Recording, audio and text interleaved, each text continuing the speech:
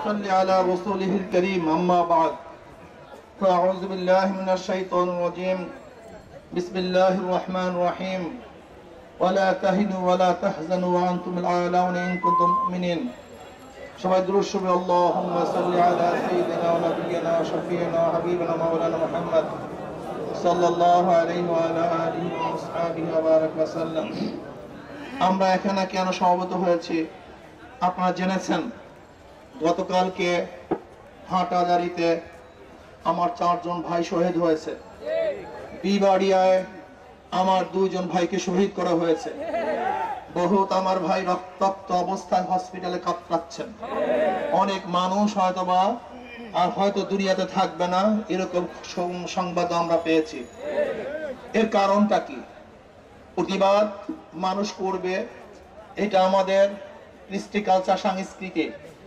এদেশে যদি প্রতিবাদ না হতো, তাহলে হয়তো আজকে আমরা এই লাল সবুজের পতাকাও পেতাম না। কিন্তু আমাদের কারণেই তো আমরা স্বাধীন হয়েছি।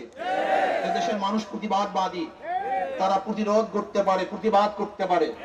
কিন্তু কেন? আজকে আমাদেরকে প্রতিবাদ করতে দেওয়া হবে না কেন? আমরা বাংলাদেশের আইন সম্পর্কে জানি। আমরা বাংলাদেশের আইন সম্পর্কে জানি। সিভিল প্রশাসন, স্বরাষ্ট্রমন্ত্রীর আন্ডারে যে সমস্ত লোক থাকবে, দায়িত্বরত অবস্থায় থাকবে, তারা সরাসরি মানুষকে গুলি করার কোন আইন বাংলাদেশে নেই। কোন আইন নেই। যদি পুলিশকে গুলি করতে হয়, তাহলে ম্যাজিস্ট্রেট গুলি করার অনুমতি দিবে। তাও বুকের উপরে নয়। পায়ের নিচে গুলি করার অনুমতি দিবে লেকিন আমি প্রশ্ন করতে চাই বাংলাদেশ সরকারকে প্রশ্ন করতে চাই যেই থানার থেকে গুলি এসছে আমার ভাইদের বুকের উপরে তখন কি সেখানে কোনো ম্যাজিস্ট্রেট ছিল? সে হুকুম করেছে? হত্যা করার জন্য হুকুম করার কোন আইন কি বাংলাদেশে আছে? তাহলে আপনি যদি বলেন মিছিল করা অবৈধ তাহলে আপনার গুলি করাটা কি হবে? আপনার খুন করাটা কি হবে? এই রক্তপাত করাটা কি হবে? তাহলে মনে করতে হবে যদি অবৈধ মিছিল অংশগ্রহণ করে তাহলে আপনার অবৈধ খুনের কারণে আপনি একজন খুনের কথা। আর বাংলাদেশের মিছিল মিটিং করা এটা অবৈধ নয়। এটা সাংবিধানিক অধিকার আমাদের। মিছিল মিটিং অধিকার আমাদের আছে। গণতন্ত্র দেশে মিছিল মিটিং প্রতিবাদ প্রতিরোধ করার আইন আছে বিধায়িত, এটাকে বলা হয় গণপ্রজাতন্ত্রী বাংলাদেশ সরকার। কোন ব্যক্তি সরকার নয়।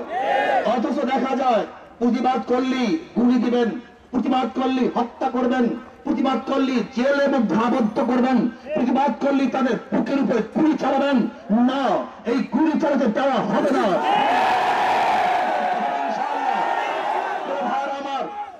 মোদী সাহেবের শাসন আমরা প্রতিবাদ করেছি। আমরা তার বিরুদ্ধে বক্তব্য দিয়েছি যে খুনি মোদী ধর্ষক মোদী, ওই সালে মোদী, সাম্প্রদায়িক মোদী বাংলাদেশে আসতে পারবে না। ভারত থেকে যদি ভারতের প্রেসিডেন্ট দেশে আসতো, তাহলে কোনো প্রতিবাদ হতো না। বরং তাকে সমাজের সবাই গ্রহণ করত, শ্রদ্ধা নিবেদন করত। কিন্তু ভারতের বিরোধিতা করা হয় নাই। কষাই মুদি, খুনি মুদির বিরোধিতা করা হয়েছিল। কিন্তু আপনি কি দেখেছেন? কি দেখিয়েছেন? আজকে এই দিনে মানুষ রক্ত দিয়ে দেশকে স্বাধীন করেছে, আর আপনি ওই দিনে মানুষের রক্ত দিয়ে দেশকে কলঙ্কিত করেছেন। আমাদের স্বাধীনতা হরণ করেছেন। আমাদের স্বাধীনতাকে আপনি ধ্বংস করে ফেলেছেন প্রশ্নবিদ্ধ করেছেন। কাজে দেশ এখন স্বাধীন নয়, পরাধীন। আমরা ভারতের কাছে চিহ্ন হয়ে গেছি। আমাদেরকে আর একটা স্বাধীনতার আন্দোলন করতে হবে। শৃঙ্খলাবদ্ধ করেছে। আমাদের হাত পায়ের মধ্যে ভারত রশি লাগিয়ে দিয়েছে।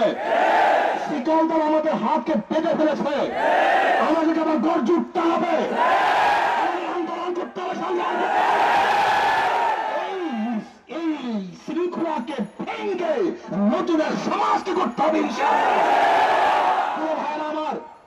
আমাদের ভাইটাকে শহীদ করা হয়েছে।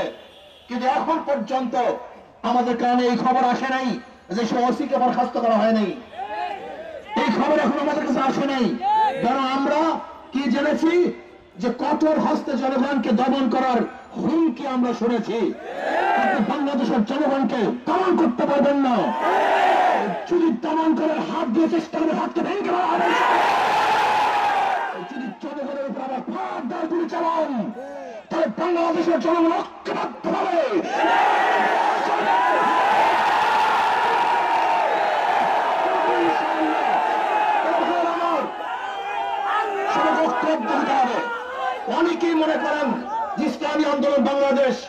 অমুকের সাথে আসে নাই কেন? আসলে আমাদের বাংলাদেশের রাজনীতিতে আজকে সুহৃদ্যপূর্ণ কোন ভাষা আমাদের নাই, মেজাজ আমাদের মধ্যে নেই।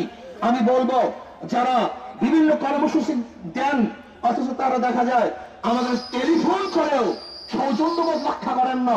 একটু আমাদেরকে বলেন না, এই কর্মসূচি অংশগ্রহণ করুন। আপনারা সমর্থন জানান। এরকম পর্যন্ত আমাদের মধ্যে সমবেদনা তার জানাবারও আমাদের মধ্যে ভাষা নেই, সেই মন মস্তিষ্ক আমাদের মধ্যে নেই। এর জন্য আমরা বলব যে আমাদের নিজেরা ইমানের তাকিদি আমরা এই আন্দোলনে নেমেছি, সংগ্রামে নেমেছি। কাজে ইনশাআল্লাহ আমাদের আন্দোলন সম্মান চলতেই থাকবে, ইনশাআল্লাহ। কাজী ইসলামী আন্দোলন। আর একটা কথা হলো চট্টগ্রাম মেডিকেল থেকে এখনও আমাদের শহীদ ভাইদের লাশ হস্তান্তর করা হচ্ছে না। জলদি জলদি, আমাদের ভাইদের লাশ ডেথ সার্টিফিকেট দিয়ে আমাদের ভাইদের লাশকে হস্তান্তর করা হোক। যদি বিলম্ব করেন গরিবসু করেন, তাহলে আন্দোলন এমন ভাবে চাঙ্গা হবে যা আমরা আমাদের এই বিক্ষোভ জনসভার থেকে আমরা কয়েকটা দাবি সমূহ উত্থাপন করছি। চট্টগ্রামে হাটাজার এবং বিবাড়িয়া যেসব পুলিশ মিছিলে গুলি চালিয়ে হত্যাকাণ্ড ঘটিয়েছে তাদেরকে বরখাস্ত করে বিচার বিবেক তদন্তের মাধ্যমে দৃষ্টান্তমূলক শাস্তি ব্যবস্থা করতে হবে। নাম্বার দুই ওসিকে দ্রুত চাকরি থেকে বরখাস্ত করতে হবে। নাম্বার তিন, প্রত্যেক পরিবারকে আর্থিক ক্ষতিপূরণ এবং আহতদের সুচিকিৎসা ব্যবস্থা করতে হবে। নাম্বার চার, মোদী বিরোধী আন্দোলনে যারা গ্রেফতার হয়েছে, তাদের দ্রুত মুক্তি দিতে হবে এবং হয়রানিমূলক সকল মামলা প্রত্যাহার করতে হবে।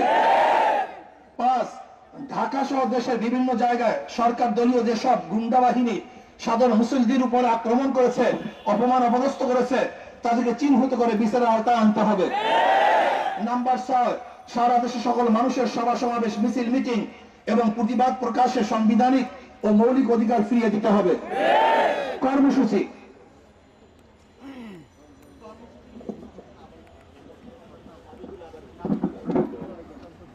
আমাদের দাবি সমূহ, চট্টগ্রামের হাটাজারি এবং বিবাড়িয়ায় যে পুলিশ মিছিলে গুলি চালিয়ে হত্যাকাণ্ড ঘটিয়েছে, তাদেরকে বরখাস্ত করে বিচার বিভাগ তদন্তের মাধ্যমে দৃষ্টান্তমূলক শাস্তি ব্যবস্থা করতে হবে। নাম্বার দুই, হাটাজারি থানার ওসিকে দ্রুত চাকরি থেকে বরখাস্ত করতে হবে। নাম্বার তিন, প্রত্যেক শহীদ পরিবারকে আর্থিক ক্ষতিপূরণ এবং আহতদের সুচিকিৎসার ব্যবস্থা করতে হবে। নাম্বার চার, মোদী বিরোধী আন্দোলনে যারা গ্রেফতার হয়েছে, তাদের দ্রুত মুক্তি দিতে হবে এবং হয়রানিমূলক সকল মামলা প্রত্যাহার করতে হবে। নাম্বার পাঁচ, ঢাকা সহ দেশের বিভিন্ন জায়গায় সরকার দলীয় যেসব গুন্ডা বাহিনী সাধারণ মুসল্লির উপর আক্রমণ করেছে, অপমান অপদস্থ করেছে, তাদেরকে চিহ্নিত করে বিচারের আওতায় আনতে হবে।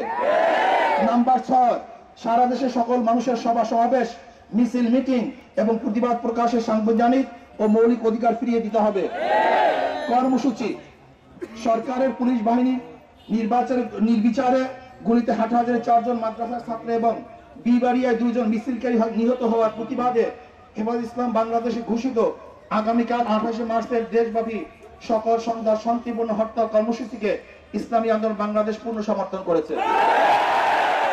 নাম্বার দুই, আগামী আগামী এপ্রিল আগামী পহেলা এপ্রিল, বৃহস্পতিবার সকাল দশটা জাতীয় প্রেস ক্লাবের সামনে এই হত্যাকাণ্ডের প্রতিবাদে বিশাল সমাবেশ হবে ইনশাআল্লাহ এখন আমরা সবাই মিছিল অংশগ্রহণ করি, এখন মিছিল হবে।